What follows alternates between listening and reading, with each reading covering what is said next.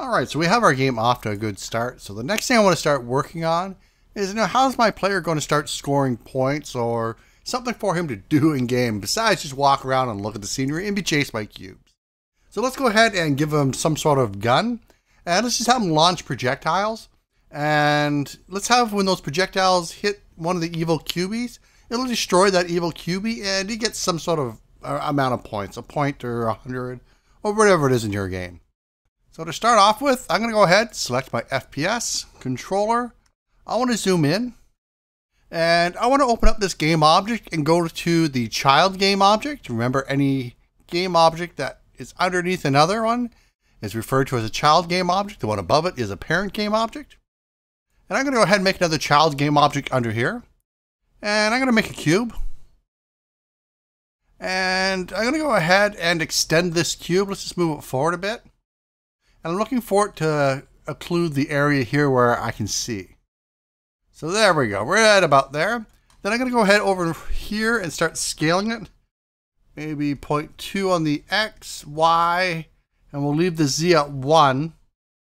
Now, down here, I want it to kind of come in from the, the side here, kind of at an angle.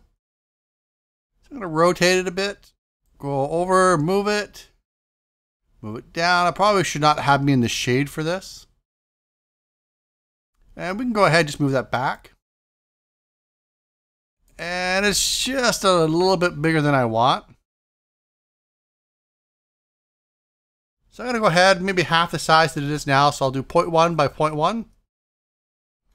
There we go. I'm going to grab the whole thing. So the absolute parent game object. I'm going to move them out of the shadows just so I can see a bit better here. All right, good enough. Now, I'm going to go ahead and select them. And a couple of the components here I don't want, at least one. And that's this box collider. Now, colliders are used to interact with the physics in Unity so they can collide essentially with things. And I don't want this gun to have a collider.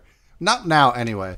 Uh, because as I walk around, I start walking into trees. The trees have colliders. My gun's going to get stuck. I'm not going to be able to turn. If I have more complex geometry in the scene, it's going to get stuck. Uh, you know, houses and. So for now, I'm, I'm just going to go ahead and turn it off. I could even go ahead and just absolutely get rid of it because I really don't need it. But for now, I just want to turn it off. And of course, ticking these turns it on and off as far as the components go. And the very top one up here will actually turn the, the actual game object itself off. So any scripts or components that you have attached to it when you turn it off are turned off as well, so they will not run. And that's what I'm going to do with our extra spawn point here. I'm going to go ahead and turn that off. So I've only got one spawn point spawning stuff right now. All right, so I've got my gun. Let's go ahead and actually call it gun. And I'm going to go ahead and make a script for that. Now, another way to make a script is to go add component and just do new script. I don't like this. I've had trouble with where it puts scripts. So I just automatically navigate to the scripts folder and just do create C sharp script. I'm to call it gun. And right off the bat, I'm just to go ahead and attach it so I know it's there. I'll save my scene, double click it to open it up in MonoDevelop. And of course, the first thing I always do is get rid of it. So I'm to go ahead and save that off. And I have to think, how does this gun work? So I'm going to go ahead, take player input.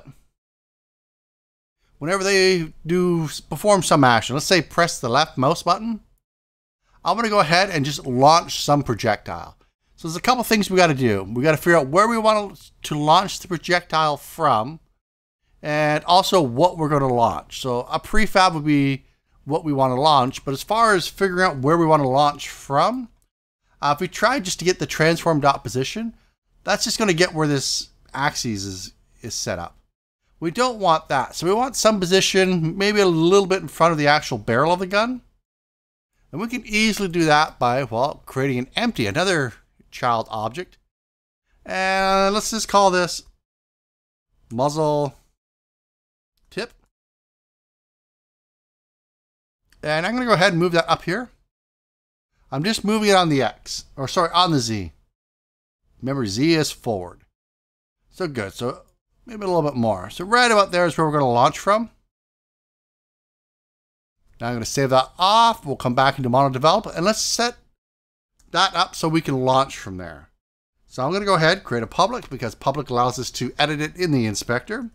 We want the transform because we don't need access to the whole game object. We just want the position. And I'm going to call it just the tip. There we go. And if I save that off, we'll come back into Unity. Go ahead, grab the gun. And drag and drop it in. So now we have a place to fire from. We'll still need something to fire. Hmm. Why did it not go in? There we go. We still need something to fire. So we need some sort of prefab. We'll make that prefab later because we got, got to add a script to it. But we can go ahead and set it up. Uh, it's a prefab, so we're going to use a game object. We could also create a specific type as well, and we'll look at that in the next one. For now, we're going to call it a game object, and I'm just going to call it prefab. We could call it projectile too. I'm just going to call it prefab for now. Now to get player input, we do that during the update. And the way we do that through Unity is we can go ahead and say input dot get mouse button down. This is the one we want. But take a look here, there's three of them. And here's how they work. Mouse button down will fire off the very first frame that you press the mouse down. Mouse button up fires off on the frame where the mouse button is let up. And get mouse button, just as soon as you press it down, it just starts going off every frame until you let it back up. Now that one's not bad if you also have some sort of timer set up so you can set some sort of machine gun up. So maybe it fires off one every I don't know, tenth of a second, quarter of a second, whatever it is that you want it for. But without a timer, it's not good because it's completely dependent on frame rate. But we're going to use on mouse down. So when they click the mouse button, we want to do something. But before we can do that, we also have to take a look to see what button we want to press on. Now I know that the left mouse button is zero because I've just done it so many times. But if you're not sure, we can go ahead and highlight this and hit Command apostrophe, the one right beside the Enter key. And that's going to load up the scripting API. And it'll bring you right to that actual method. And we can click on it and get some examples on how things work. And we see here that the left click is 0, right click is 1, and the middle click is 2. So I'm going to jump back in. So we know this is how we detect the click. Now we need some sort of conditional statement to say that, you know, if we detect that click, then do something. And for that, we're just going to use an if block. And an if statement works just like, well, like it sounds. If our player clicks the left mouse button, we're going to do whatever it is that's in between these little curly braces. And just let me put a space here. It's not required. It's just formatting that I use. All right, so for the firing of the gun, I'm actually going to go ahead and make my own method for that. I'm going to call it void shoot. And this will handle the launching of the projectile. Uh, if I want any sort of sound effect, if I want any sort of particle effect, maybe a muzzle flash, everything can be handled out of here. So for simplicity in the update statement, I'm just going to check to see if he presses the left mouse button, then we're going to go ahead and shoot. Then in shoot, just like with our spawn point, we're just going to instantiate something. And because I'm lazy, I'm just going to copy and paste it. And let's go over it. So what are we going to instantiate? We're going to instantiate our prefab, which is going to be our projectile. Uh, we're going to place it at our position, our current position. No, that's not what we want. We want to go ahead and make sure that it spawns at the just the tip. There we go.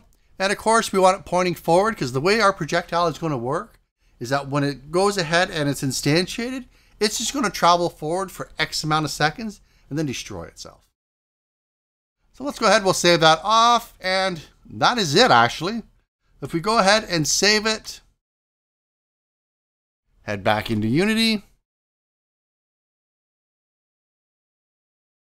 I'm going to go ahead into the prefabs folder Actually, I'll come out here. I'm just going to make a sphere for now.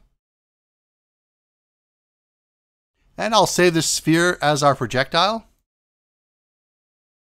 I'm just going to call it projectile. All right, I'll delete the one in the scene. Let's go ahead and we'll grab the gun. I'm actually going to shrink that up so I don't ever accidentally click the muzzle tip.